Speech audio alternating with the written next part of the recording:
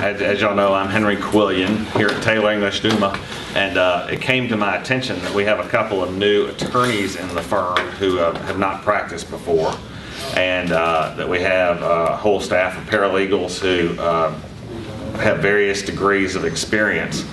And so I had this idea of doing this uh, session, which is something I actually did at my previous law firm, which is to try to work people through the rules of civil practice so that we're all familiar with not only what we need to do, but also why we're doing what we do, why forms have what they have, why it's important that forms have certain words in them rather than just trying to use a form, uh, and ultimately to uh, have the attorneys, older attorneys, and more experienced paralegals uh, teach the newer attorneys and par- younger paralegals uh, civil practice, and then also to uh, establish best practices for the firm.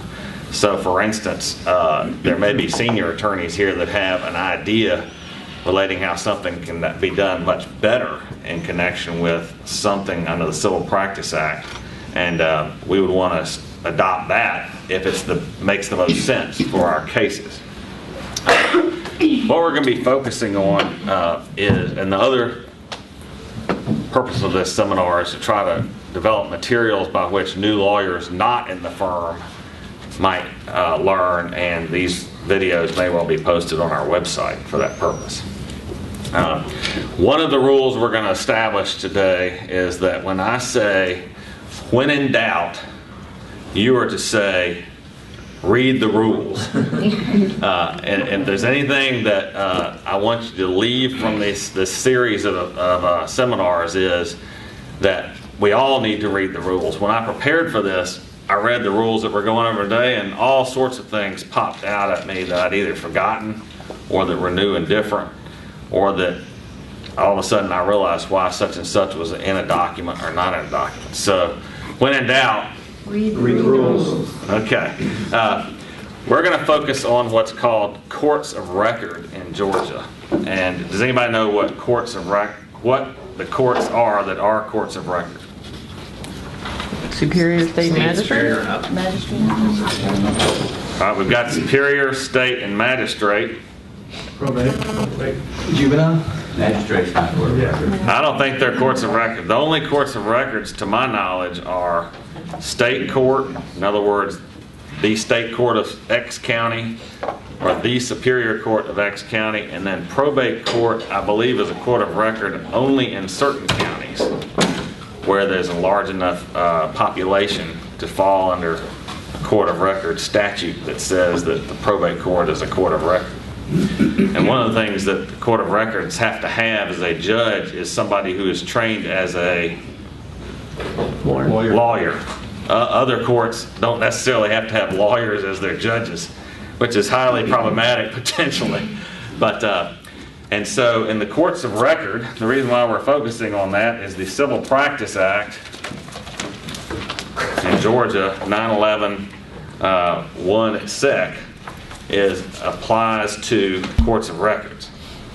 Now, the rules what we're going to be looking at are Civil Practice Act, the Uniform Superior Court rules, the Uniform State Court rules, which are really just slight modifications to the Uniform Superior Court rules that apply to state courts, meaning courts that have the name the State Court of X County. And then also uh, any case law that might amend or clarify those rules. And then also if the Constitution is involved with certain aspects of practice or the origin of the Civil Practice Act, we may touch on that. This is a basic nuts and bolts course. We are not going to be discussing a lot of theory in case law. Mainly, if there's a case that, says something that is very important, that is instructive as to why we do something, that's the type of thing I'm going to focus on. I'm not going to focus on the you know the history of the Constitution, how it came about, and and, and uh, why we have certain uh, rules. So, this topic is uh, starting a lawsuit, and I've got, as we often have, a little hypothetical. Uh, Jane Smith comes into your office today. she claims that John Doe owes her $10,000 on a note that became due and payable five years, 364 days ago. It's 3 PM. What do you do? Anybody got a, uh, Make sure she understands that uh, you are not representing her. Unless you, you know, yeah. One additional fact, you're right across the street from the courthouse. What do you need to gather up to help Jane Smith? Retainer? I get your retainer. That's a practice tip for you out there. Um, contract showing what, what was owed when, whatever the person that she was supposedly dealing with signed, showing that they actually borrowed that money from her. Okay, so you get a copy of the note. That'd be helpful as a lawyer, so you'll know you'll have a good faith case if you bring it, all right? Let's assume she has the note and she has the demand letter that was sent uh, three weeks before saying, pay me the money by yesterday or I'll sue you. Um, What would you have to gather within your law office in order to commence a lawsuit? Which I might point out for those of you who don't know, this is the day the statute of limitation runs. You want to make sure the courthouse across the street from you is the right courthouse to file it in, too. That would be true. And, uh, and uh, you have to make sure that it's an, o- it's open, it's not a holiday. Right. Let's hope, right? Uh, And, uh, but if you were to pull it, go to your forms file or, or to your word processor, what sort of documents would you need in order to commence a lawsuit? Eric? Uh, Well, since this is uh, $15,000 or under, you probably want to file this complaint in the magistrate court, and all you need is the magistrate complaint and the filing fee to do that. So you look for the Fulton County, uh, Fulton County Magistrate Court form complaint. Uh, you're, you're, this is Hahira, Georgia. There's no magistrate court. Uh, This is, there's only state court and courts of record in this county. And uh, besides that, if there was a magistrate court, the closest one is 50 miles away. So we're in state court or superior court. What do you need? Complaint, Complaint, summons. filing form, Summons. Okay, so I hear complaint, filing forms, summons. Filing fee. filing fee. Filing fee, what's that? Get paid either way. That's the, that's the that's the cover charge for getting into the club, which is the courthouse, I guess. Okay, so, uh, we've talked about, and then what about this, what was this, something about filing forms or something like that? What's that? Civil case initiation form. A civil case, a civil action cover sheet, is that a typical name for that? It's Civil All case right, Can initiation. somebody explain to me what a civil case initiation sheet has in it? What sort of general information? Type of case you're dealing with, with breach of contract, tort, things of that nature. Okay, names. Parties It, it has the parties' names, it has a check, check box that, that li- gives you an option of the type, general type of case it is. Uh, does it have any spot for the attorneys? Yeah. Uh, does it have anything in there about, uh, related lawsuits or, s- or to the Depends one on the, that's? depends on the court, depends what form you're using and what court. Depends on the court, okay. Yeah. And what would, what would be the purpose for the related lawsuits question if it was on the civil action cover sheet? To assign judge. Judge. Okay, so the judge, if it's very similar facts, same parties, it might be assigned to the same judge. Okay, basically that form, you just have to know that it has it and that you have to have it, and it actually is required in the Civil Practice Act. So, uh, and it's self-explanatory because it's a fill-in-the-blank form. Now, uh, what about a summons? What is a summons? Anybody know what a summons is? Required? You're ordered to appear and respond. It's a, yes, it's a order from the court that the defendant has to appear and respond to the complaint. And why is that necessary? Because the rule says required to be served with complaint. That's exactly right. And there's a case, uh, which is Bank South versus Stamps. Um, 221 Georgia Appeals 406, 1996. which says that if the summons is not served with the complaint, then the defendant has no juris, the court has no personal jurisdiction over the defendant. And so, in order for the court to have personal jurisdiction over the defendant, the summons has to be served, and basically, if a serm, if a summons isn't issued by the court in connection with a complaint, then there's no civil action pending. And your whole goal here is to start a civil action on behalf of James Smith. Um, So, Henry, I don't know if you want to get to this level of detail the statute of limitations, though, but I mean, say you're running against the clock, and you only got half an hour, and for some reason you can't get the summons. Um, Is there a case saying that you can't, you don't beat the statute if you just file the complaint and you don't get the summons issued that day? Or can you wait a couple days and get the summons issued? That I don't know, but I'm gonna bank on getting the summons. Right. Well, you you don't get some- Yeah, you don't Yeah, um, nine, 911.3 says a civil action is commenced upon the filing of the complaint, and then you have five days in order to make service. So get the damn complaint filed, worry about the summons later. Okay. Mickey Ross says, get the five days notice. And I'm, and I'm convinced you should do whatever you can to beat the statute of limitations. But don't forget about the summons before you If in serve. Five days, then it relates back to the date of filing the complaint. Okay, very good. For those of you on camera, the summons will relate back to the day of the filing of the complaint. If if So- you serve within five days. Within five days. If you serve within That's five, the critical if. okay. Because if you don't get it served within five days, then you go to the reasonable efforts rule. And there are cases that have held that if you don't get service within 30 days sometimes, it depends on how much effort you put in to find the defendant and give them serve. But uh, if you really haven't done anything in 30 to 45 days runs, you could find yourself, because the statute of limitations isn't actually satisfied or tolled until the defendant is served. So the five-day relation back rule is automatic if you get them served within five days. Thereafter, you're into a, a, a test of reasonableness. And so, as a practical matter, what you got to do is to make, is to document your efforts day by day as to what you're doing to track down and get the defendant served. And if you just give it to the sh- uh, sheriff's department to get them served, good luck. Because you can't get a sheriff to testify regarding what they did, uh, most of the time. Right. I mean- Because that's something they did in, in the course of their governmental duties. It, it'll just get thrown in the process of the, you know, chain of things being done in the sheriff's department, and it could be two months before they get around to really trying to serve them, and suppose they don't find them at that time, then, then you got real problems. Another practical tip, if you're up against the statute of limitations, don't resort to asking the other side to waive service of process, because that's probably not going to constitute due diligence. Right. Or what about those situations where you got a party who's trying to evade service? Well, that will play in your favor in terms Yeah. of your reasonable efforts. Yeah. But, but what you gotta do is you've gotta document, because ultimately. It's your burden to. you- you- It's your burden to show. So, you know, your paralegal, whoever's doing this, has got to keep records and ultimately do an affidavit that they tried on day one, day two, day three, day four, et cetera, et cetera, uh, and everything they did to try to get service.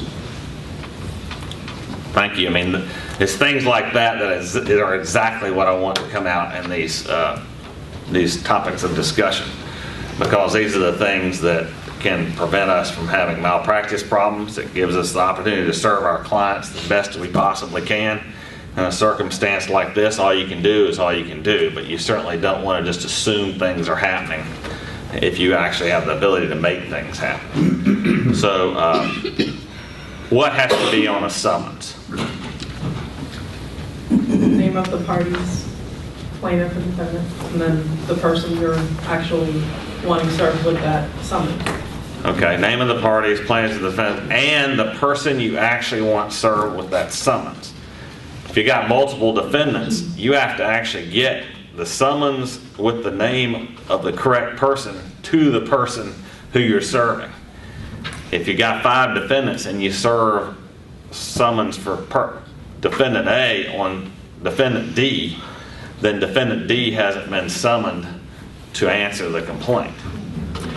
So in this instance, we just have one defendant, but that is a practical thing you need to remember is make sure that the summons and the copy of the complaint is served to the correct defendant. And so, the- and the summons must state who that defendant is to be served. And it must be signed by the clerk of court Uh, before you can even serve. And the clerk of court has to sign it. It's actually in the Civil Practice Act. That's the only time that a summons is issued, is when the clerk signs it, and she's actually sort of signing on behalf of the judges of the court, ordering that the defendant uh, serve and file an answer. And aren't there additional fees for additional um, defendants or plaintiffs in the case? Some counties, Depends on the county. some of the counties.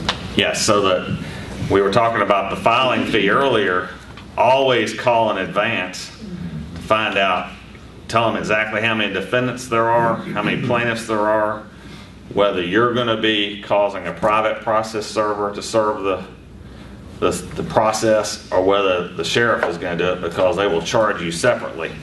Last thing you wanna do is have all your papers ready, run over to the courthouse at 4:59 PM, and then be short $5. Because in that instance, who is king, you or the clerk? In fact, one of the things that all of you need to remember is the clerk is always the king. Uh, uh, I, just an example, I had a, had a motion for summary judgment response, the day before the hearing, I was able to get extra testimony from a witness who was going to raise a, a genuine issue of material fact, and the, the clerk, uh, the, had the original signature on the last page of the affidavit, but the top page was a faxed page of the document, and the clerk told me it was unconstitutional to file a faxed affidavit. Uh, and the clerk was going to win until I went to the judge and had the clerk overruled. But basically, if the clerk rejects you at 5 459, then you've got a whole different problem on your hands. So I would say take some cash with you to fill in whatever gaps you need with respect to the filing fee. Uh, make sure that it happens. Also, uh, if there's any sort of issue regarding anywhere near being a statute of limitations problem, either you personally, the lawyer, go over there and file it, or send your most trusted paralegal. Do not call a courier or somebody that has no, uh, you know, dog in the, in the fight to go over there and file it for you. All right, now, Where does, where does John Doe live? well, John Doe lives in Hahira County. I already know hey, Howard So, so, so, You gotta be in the county of John Doe's residence. Unless you got a venue provision. Right. In the note, is what you're Yeah. referring, unless there's agreed to separate venue. So we actually are going to cover venue, but your, uh, FOIA is correct. You want to sue in the correct, in the correct county. Uh, Now, if you only have one option and it's 3 PM and you have to file somewhere, you might conceivably get away filing in the wrong county because of the venue transfer rules, but don't do it if you don't have to. Uh, All right, so we've got the summons, we've got the civil action cover sheet. Now we're going to talk about the thing that everybody else in the world besides us before this class thinks uh, starts a lawsuit, which is a what? Complaint. Uh, And uh, you might find that the Civil Practice Act has something to say about what has to be in a complaint. Now, uh, let me give you a sample complaint. Listen carefully. It's not too long. This is the complaint you have prepared, and it's now 3:30. Uh, And Tim, I believe they're asking for you. Uh, All right, listen up. Jane Smith, uh, we got a style on there. It says Jane Smith versus John Doe. It's got the correct court listed at the top. And this is the paragraph one. Jane Smith loaned John Doe $10,000 on a note due December 14th, 2005. John Smith has not paid and Jane Smith demanded payment.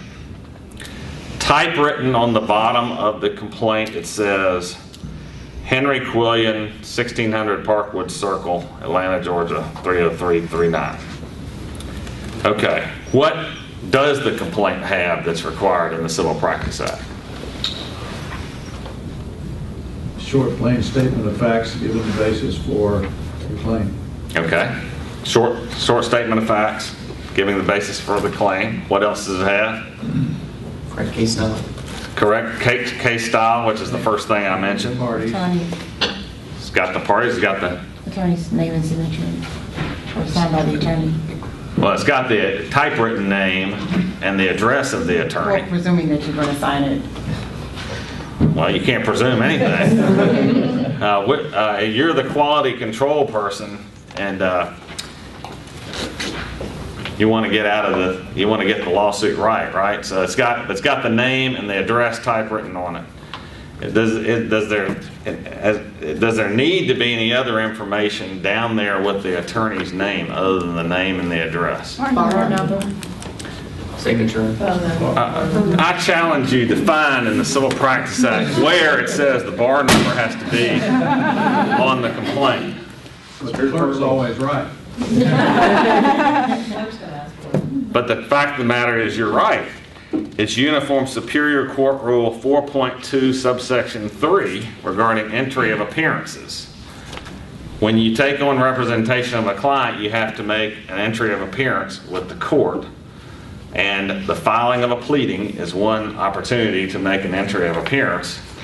And Uniform Superior Court Rule 4.2 subsection 3 requires that the bar number and the, of the attorney and the phone number be on there as well as the address. Does the fax number have to be on there? No. No is the answer. Correct. What about the email address? Not yet. Federal court, of course. All right. State and Superior Court, but no email address. Okay, now, uh, what is, what is missing in this complaint? Allegations of jurisdiction and venue. All right, allegation of jurisdiction, why do you have to have that in there? You gotta establish you have a right to be in that courthouse. Well, And that that court has jurisdiction over the person you're suing. Are you asking? Do you have to allege need for the jurisdiction if you're excuse You're me? asking what do you need for the complaint to be accepted or to survive a motion to dismiss? I'm asking, what does the Civil Practice Act require you to have in a complaint? Okay. Uh, You need a prayer for relief. I don't, I don't think it was a prayer for relief then. Great. Uh, There has to be a demand for judgment, that's not OCGA 911-8A2B. Uh, That's one of the two things that are listed as being the substance of the complaints, well, one of two things that are listed as being the substance of the complaint. All right, now, do we have to allege jurisdiction of the court? Not in state court, yeah. All right, do we have to allege anything else relating to jurisdiction or venue? Constitutionally, personal, don't you, for personal jurisdiction and venue purposes? I mean. Bingo! So the issue of the, 911-8A2 specifically says you have to allege facts supporting venue. And I have in fact gotten lawsuits dismissed because the plaintiff just said Jane Doe is owed money, Jane Smith is owed money from John Doe, and it didn't say John Doe lives in, at this address in this county. You have an alleged venue and the, and the defendant, and the plaintiff never corrects that allegation, the complaint is deficient as set forth in the Civil Practice Act. I'm not saying that all courts would dismiss that one. I'm just saying I've successfully gotten a case dismissed because the plaintiff failed to allege facts to support venue, and that's because of, the constitutional provisions in the Georgia Constitution that require that venue be in the county where the defendant is located. that's right. Uh, Unlike in some states, venue is constitutionally mandated in Georgia. And so the Civil Practice Act, at one time, the legislature was smart enough to actually put in constitutionally required things in the uh, Civil Practice Act. So that's one reason why it's written there, right there in front of your eyes, to, when in doubt, you read the rules. Okay. All right. Uh, so when I was a brand new associate, the first week of practice, my uh, senior partner brought in a complaint about 65 pages long, drops it on my desk, has every statute known to man cited in it. And he says, Tell me whether it states a cause of action and whether we can move to dismiss this complaint. Turns out it was a fascinating complaint. It was a man who was, uh, incarcerated, and uh, his contention was that the defendant parties, which was a very wealthy family, had Jiffy quicked him into jail using a Title 15 communication station that controlled the FBI and the CIA. And he had, like I said, every statute known to man cited in that, in that complaint. And of course, dutifully, knowing the, the rules of civil procedure I had well so learned in law school, I went reading all those statutes to see whether he had stated enough facts to state a cause of action. But we ended up filing a two-page motion to dismiss this complaint. What did we, what, what might have been missing from the complaint that allowed us to file that motion to dismiss without having to address all those statutes? Prayer for relief.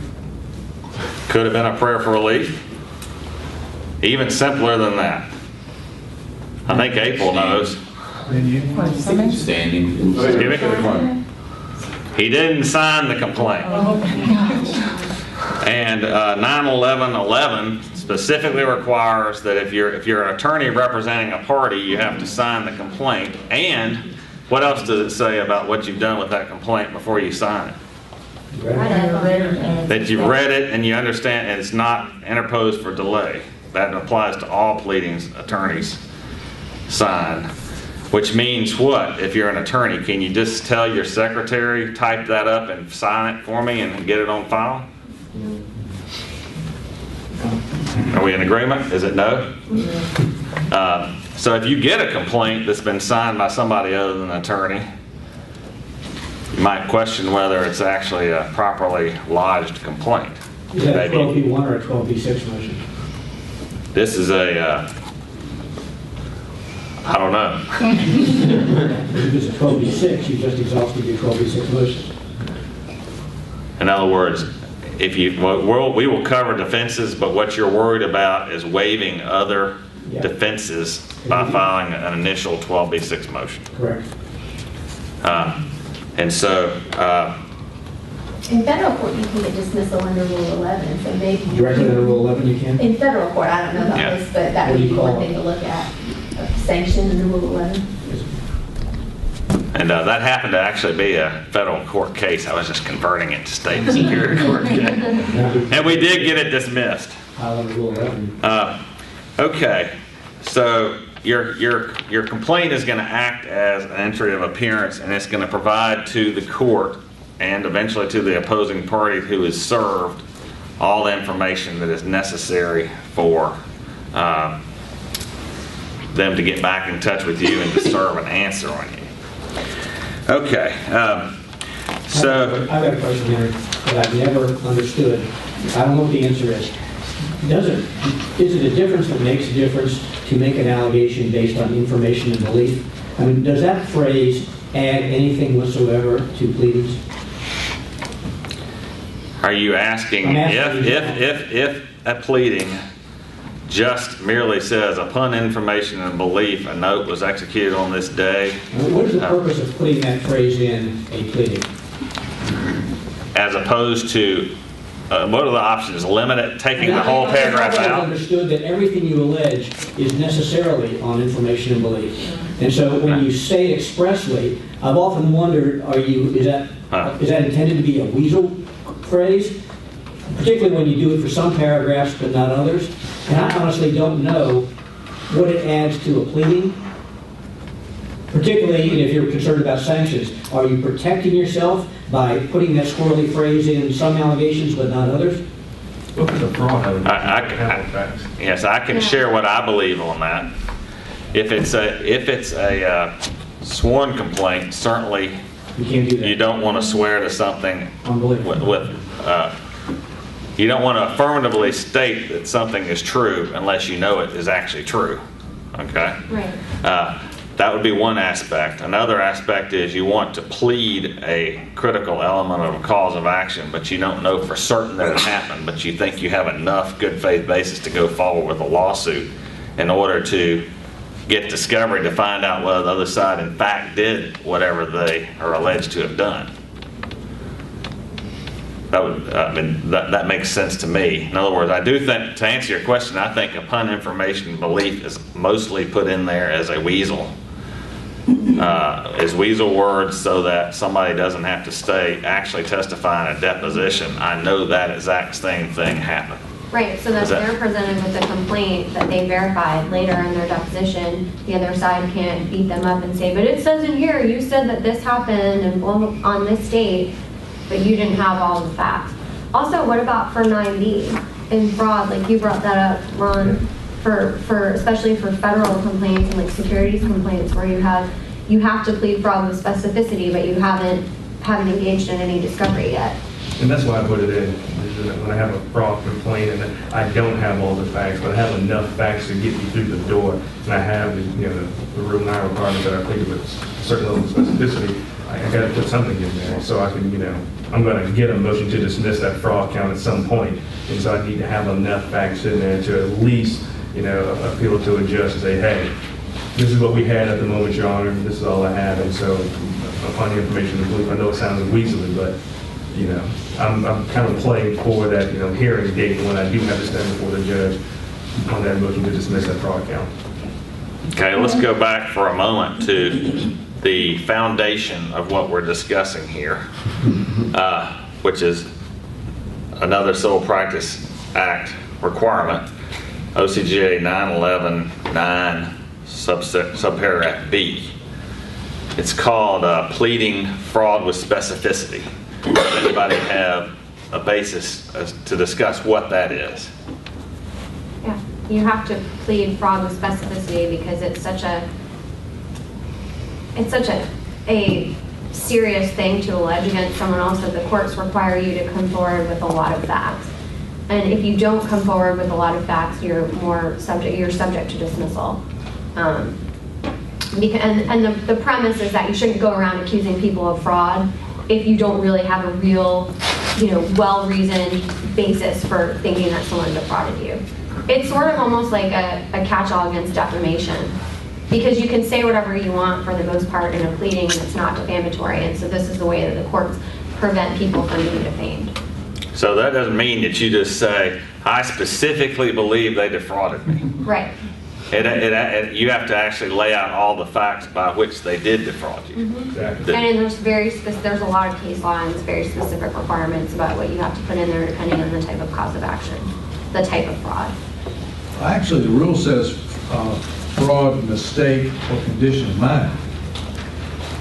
So it- it's really a broader, um, broader requirement than just fraud. Well, no, it says condition of mind, malice, intent, knowledge, and other condition of mind may be averred generally. Right. So we got a debate going on here. What, what does averred generally even mean? Well, I don't understand why you fraud is, is singled out, because you can, as I understand it, you can uh, allege for punitive damages, wanton, reckless, willful, and you don't have to put in all kinds of facts about that. You can seek bad faith attorney's fees by just saying bad faith, stubborn, litigious, undue burden, without putting the facts. So this notion that fraud is defamatory and all these other scurrilous allegations are not, makes no sense to me.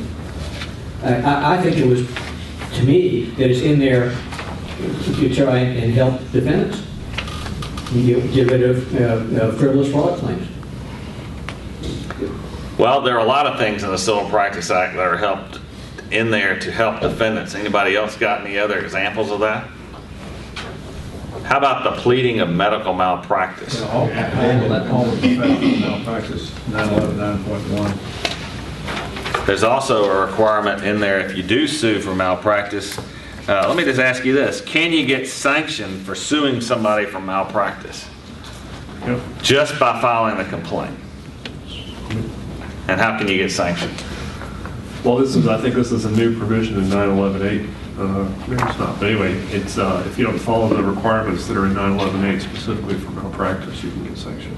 And basically, those are what, Doc? Um,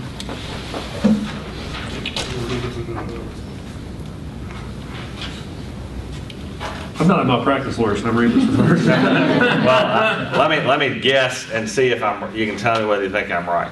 Basically, somewhere along the way, the doctors I'm, I'm convinced it's doctors. I doubt seriously it's engineers because they're not particularly assertive.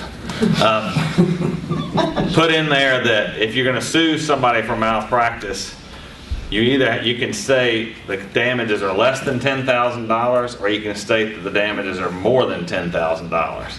But you can't say, uh, you know, the person's guilty of malpractice and they owe me $100 million. Uh, All you can say is they're less than 10,000 or they're more than 10,000. And I guess that's because, I guess that's in order to not have on the record outrageous claims regarding huge damages that a professional has caused somebody. Uh, And that's 911-8, uh, A2B. Uh, Okay, so we got this statute of limitations issue, right? And A2B does apply only to medical malpractice, whereas 911, 9.1 applies to all licensed professionals. in that case, I'm sure it was the doctors that got it in there. Uh, So. But I was around when it happened. And then, uh, what, what uh, Foy is talking about with respect to the other statute is, if you're suing somebody, a whole list of people with professional credentials for malpractice, you actually have to have an expert affidavit from somebody who is, who practices in practically their exact same field, who has reviewed the file and will say that person did in fact commit malpractice. But luckily, Jane Smith doesn't have that problem. Uh, So, uh, what's the next thing that has to happen? Let's assume we go over the clerk, we have the civil action cover sheet, we have the blank summons not yet issued, we have the complaint that's signed with all the information on it. We've added our demand for relief to the complaint that I had previously drafted. We added in some facts relating to venue, saying that uh, John Doe can be served at such and such address in Hahira County, which is the county we're in. Uh, And uh, maybe even we have a copy of that note attached as an exhibit. Uh, We have the filing fee, we've called up, we go over there, we file it 4:59 PM. What, are we totally done with this? Don't have to ever have to worry about statute of limitations again? No, no, he's okay, service. Okay, so we got to get the person served, John Doe served with the, what do we have to serve him with? That's summons and complaint. Together, and that summons has to ha be issued by whom? Clerk, and it's got to have whose name on it as a defendant? Person versus Okay, and who's else, who else has to have their name on there? the attorney. Attorney. Uh, you, right? Right. And it has to have your address as well, right? Correct. Okay, so we go to the clerk, and the clerk says, well, the sheriff's on vacation this week. Uh, What are we gonna do? Motion to appoint private processor. You get Nancy. Motion to appoint a private process server, and how do you go about doing that? You can do the job. You have to identify a private process server first, right? Depends on what county you're in. Some Some kind of- courts have a standing order that says that certain, that have a list of certain process mm-hmm. servers who are just standing, appoint, standing appointed. And if you use Fulton, you should be careful, that's up for renewal, I think it's December here, and some people have it put in their renewals. So if you use somebody, you want to make sure that they got it for the next two-year cycle. Mm-hmm. But for Alright. NET, you have to do that every single time. You have to do a motion to appoint a special process server. Okay, so let's sort of review. In some counties, there are people that are already pre-appointed by the court as being eligible to, to be a private process server, and they have a standing order that allows that to happen. In other counties, you can't use a pre-standing, a pre-existing list of people to serve at all. But in any county, you have to make sure the person that you want to use is still on the list, I guess is what Matthew was saying, and that they, uh, the order expires and that people have to reapply to have that uh, benefit of being able to serve as a process server. And uh, so if you do use a private process server, do you give everything to the clerk and leave it there? No. Who do you have to get a copy of the complaint and the original summons to? Process server. Server processor. Okay. And that is a person of what nature? Got to be 18 years or old, older. Can it be your paralegal? No, Why can't it be your paralegal for it? can't have an interest in the case. And he can't be a party. Can't be a party, so you can't get Jane Smith to serve John Doe, is that right? Correct. And, You uh, might also want to add, you want to go down with multiple copies of your complaint, because they're going to take, the the clerk's going to take the original. okay, clerk's gonna take their original, and they're gonna keep a, I guess, a copy of the original summons in the file, but also give you a summons. What if, the uh, what if the person is in the county next door? Can't be a service. Yeah, what is a second original complaint?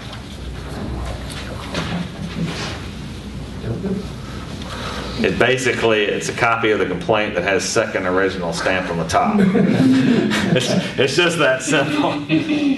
Uh, But we'll stick, we'll stay within Hahira County right now. Um, uh, So, uh,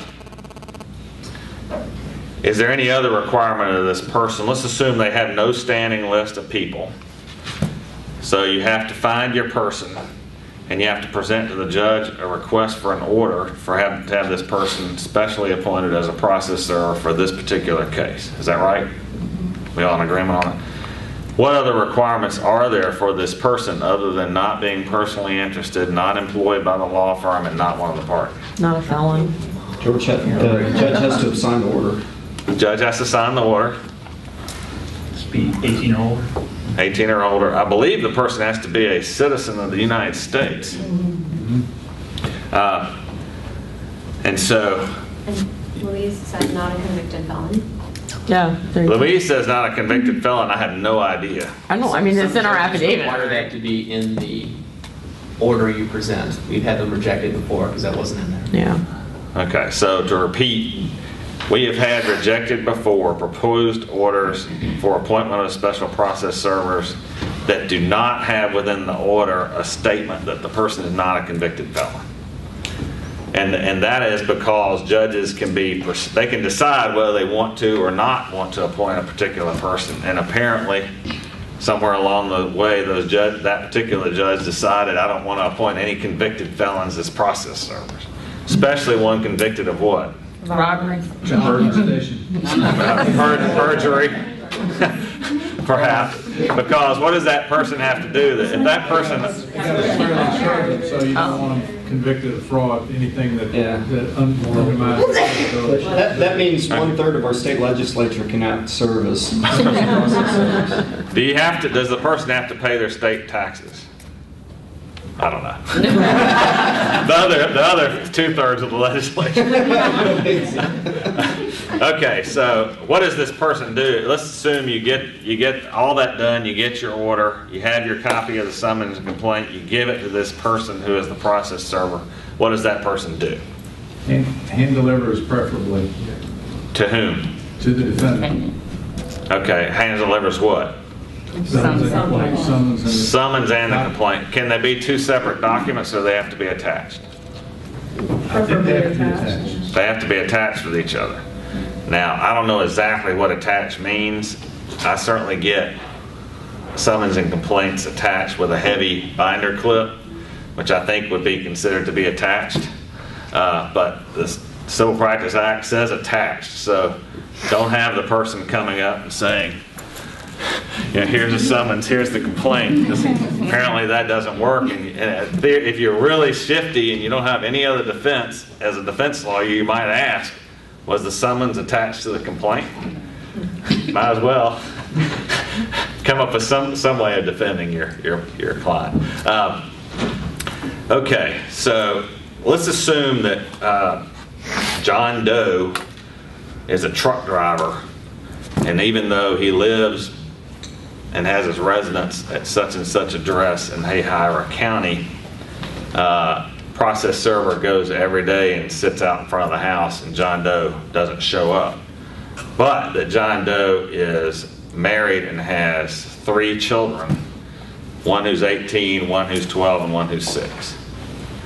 Does the process server have any option as to what they might do in order to get this complaint served? The wife of the what I 18-year-old serve, serve his wife, the 18-year-old child that reside in the house Okay. at their dwelling.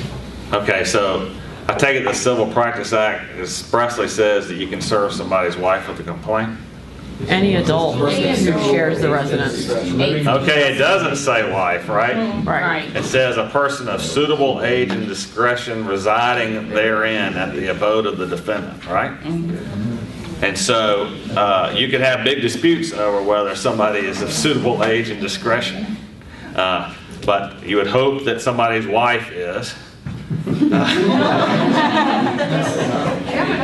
And, and you would hope that somebody's 18-year-old, 18-year-old uh, child is of suitable age and discretion. But what if that, what if that child is just visiting from college and lives uh, four-fifths of the time in Minnesota?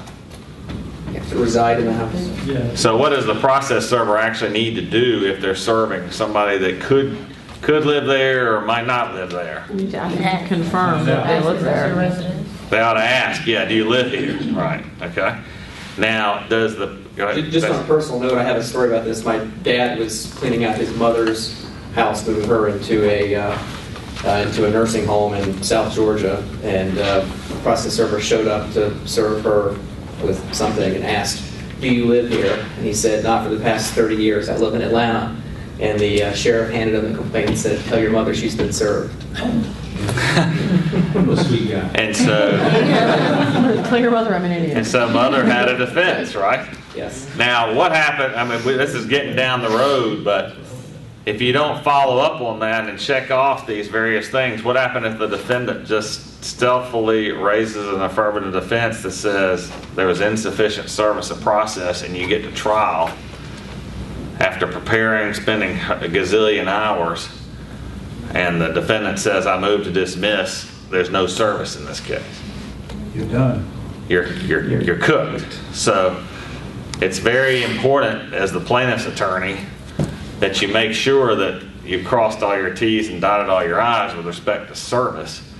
And you don't want to just presume that something is, has been done. You have to actually get affirmative evidence. Now, what about uh, if John Doe's actually at the house and the process server uh, goes to the door, John Doe comes, process server says, are you John Doe? He says, yes, I'm John Doe. Process server says, server says, well, here's the complaint. John Doe says, I don't want the complaint, don't give it to me. And the process server just throws it on the ground and leaves. He's been served. He's been served. Uh, Here the vote said he's been served. Why is that? Because he acknowledged that he was who he was supposed to be, and he acknowledged that, you know, I mean, that you confirmed who he was, and he was at home, and just saying, I don't want it, doesn't mean you can't get served.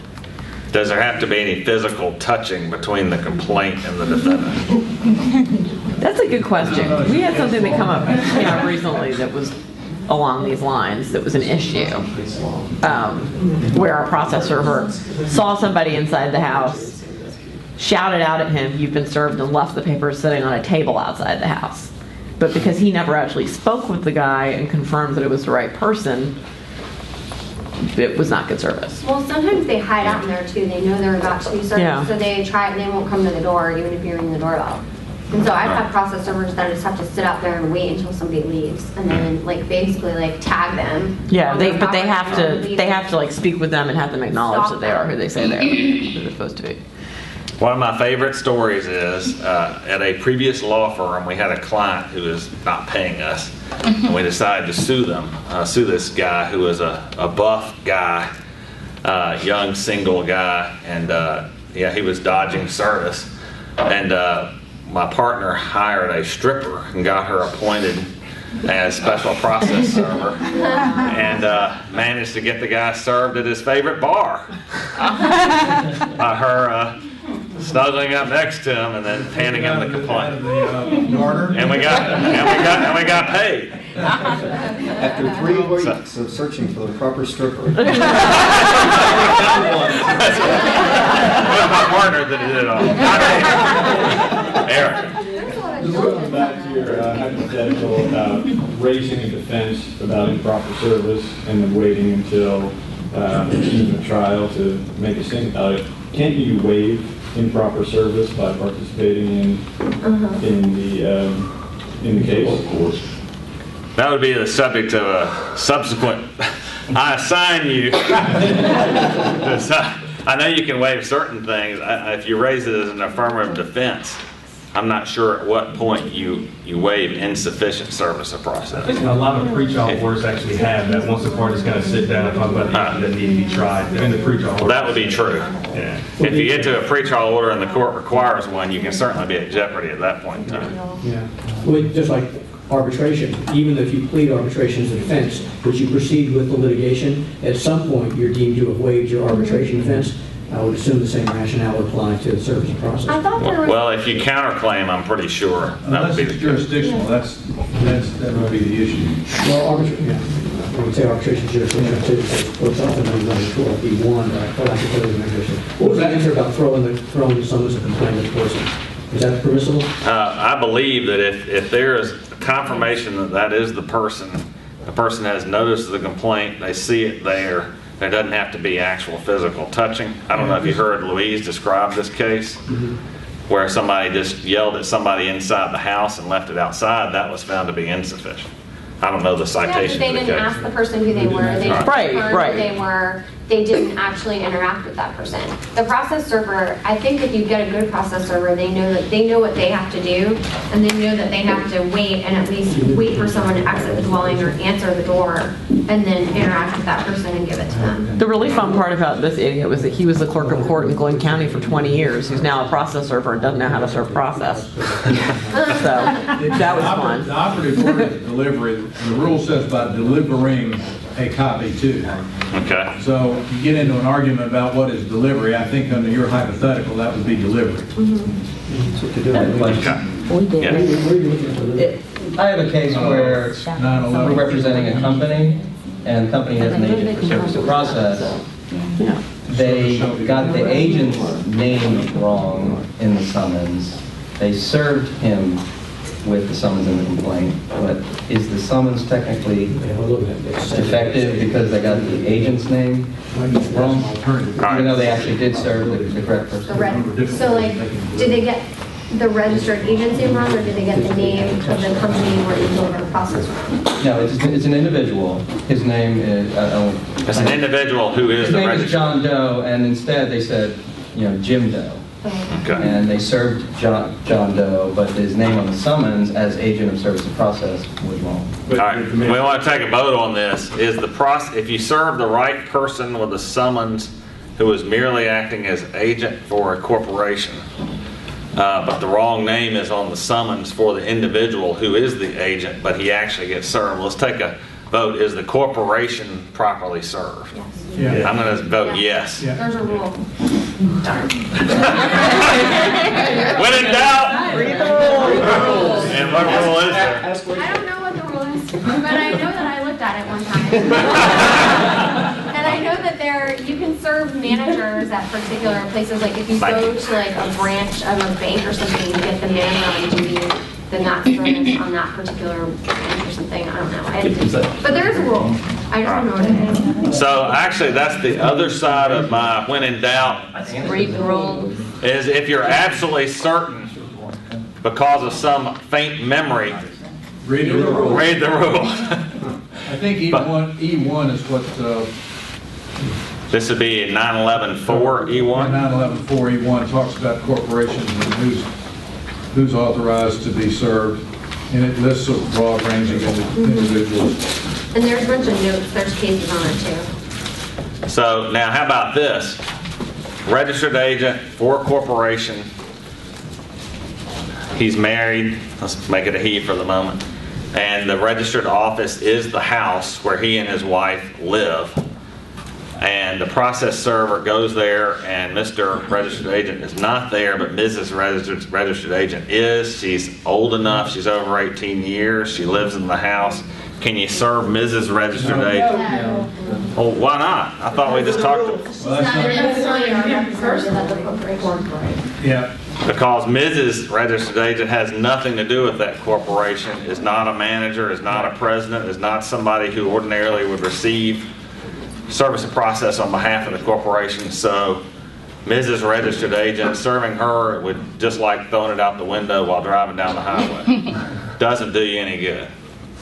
We all agreement on that? Yeah. So if you're serving a corporation by way of serving the registered agent, you actually have to get the person, not a representative of the person who you're serving. Right. Otherwise, you have to serve uh, somebody who is actually an officer of the corporation and who you at least eventually can establish is of such a position at the corporation that they can properly receive service of process. Which may mean you have a little, little litigation over whether your service is correct or not. What if you're serving the registered agent and the registered agent has an office, has a business office, but you don't get to the agent, but you get to the receptionist, and you leave it to the receptionist, the receptionist says, I'll take it for Joe Jones, who's the guy you're trying to serve, I'll accept it for Joe Jones. Is that, is that good service on the agent? No. We all in agreement that's not good service on the agent? I I think it can be. I think a registered agent can have a delegate, mm-hmm. a person delegated to accept service on their behalf. We, we had that issue when we were trying to serve the BP defendants. Yeah. Because a lot of, I mean, all these corporations, hundreds of them, we were trying to get them served in different states and even overseas. And a lot of them, the registered agent's not always there because it's actually an officer of the company running around doing his daily duties. And we ended up having to leave the paperwork with a receptionist. Who Yeah, said if the they were accepting receptionist works for. for the defendant, Correct. then that's okay. Yeah. If it's, your registered agent is a different company. Correct, not that's just a another random question. receptionist. for- What if the receptionist is just lying? She's not a des, she, she doesn't do anything for this guy. She- She's, a- she's the receptionist at the beginning, at the front of the office, but she actually can't and is not authorized to do anything on behalf of that person. That's, the problem is, how do you prove it, right? I've, I've lost that argument before. Okay. Ron has a question. We get similar uh, paradigms that happen with the Atlanta Braves all the time, which they want to serve a player or serve the executive, and then walk into the executive suite and they'll drop it at the receptionist desk and say, you've been served, and we don't treat that as service at all, so. So, uh, So it's, it's, so it's a really, it's a fact issue depending on how that registered agent conducts his or her business. Is that what it comes down to? Whether that uh, registered agent has delegated the people in the office to accept for him or her. I think it does, but yes, I think it becomes a fact issue, and I think you'd either have to clarify it and get an admission, right. or cross-examine and get some judge to rule that service is actually taking place. Isn't that the situation where, say, one of us is a a registered agent for a client, and they get served and give the papers to Catherine? Yep, yeah. Oh, but Catherine will tell them I'm not accepting service. Because Catherine's been trained properly. so- But it's one of the things, you have to train, you have to, you know, your clients, you you need training at your receptionist Right. desk. Right. I Not think- anyone can accept service here. I think as a general rule, though, the firm does not want any of us to be a registered agent on behalf of hadn't happened client here, for it happened purposes at of our Smith Currie. malpractice carrier. Yeah. That's a malpractice issue, and I think it jeopardizes our malpractice and coverage. So we're not supposed to, to do that. Okay, why does it even matter if somebody gets a copy of a summons complaint? It's already been filed. Well, that's, the- that's the notice and due process requirements under the Constitution. Okay, so the Constitution requires, in order for you to be a defendant in a lawsuit and ultimately have a judgment rendered against you, that you're supposed to have notice of the lawsuit and an opportunity to respond and defend yourself. Right. And the only way you can, well, the Civil Practice Act sets forth ways that the legislature has determined are reasonable ways by which individuals and companies uh, can get notice that are satisfactory to uh, meet the requirements of the rules. Uh, Now, I think what we will probably do is terminate this session because I sort of committed that we would try to keep it to exactly an hour. Next time, we will pick up alternative and uh, more extraneous ways by which service of process might be obtained, and then further move into uh, decisions about whether or not you should have discovery with your complaint, if you have more than two hours to prepare your pleadings, uh, strategy decisions like that, not too much in detail, and then we'll talk about answering, moving to dismiss, otherwise responding to a complaint that's been uh, received. And this is exactly what I hope would happen, that we'd have lots of participation, lots of input from people, lots of questions. So thank you. Good job.